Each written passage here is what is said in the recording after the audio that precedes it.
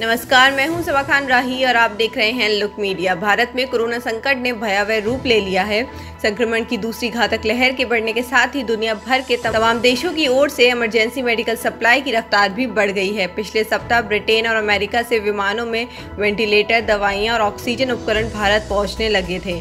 रविवार तक अकेले दिल्ली के अंतर्राष्ट्रीय हवाई अड्डे पर 25 विमानों में भरकर 300 टन राहत सामग्री पहुँच चुकी थी, लेकिन मेडिकल सामानों की खेप हवाई अड्डों पर पड़ी रही।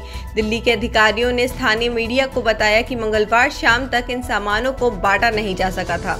यानी आपातकालीन मदद की पहली खेप को आए एक सप्ताह से ज़्यादा हो गए थे, लेकिन ये जरूरतमंदों तक नहीं पहुँच सकी थी। वहीं केंद्र सरकार ने इस बात से साफ़ इनकार किया कि विदेश से आई इस मदद जरूरतमंदों को पहुँचाने में देर हुई। स्वास्थ्य मंत्रालय ने बयान में कहा कि वे हवाई अड्डे से इन सामानों की क्लियरिंग और उन्हें सही जगह पर पहुँचाने के लिए रात दिन काम कर रहा है। लेकिन जमीनी हकीकत कुछ और है। अब देखना ये होगा कि ये विदेशी मदद अस्पतालों तक कब तक पहुँचती है। इस लापरवाही में आपकी क्या राय है, कमेंट करके हमें ज़रूर बताएँ। और देश और दुनिया की खबरों के लिए देखते रहिए लुक मीडिया एक मिनट हमारे साथ।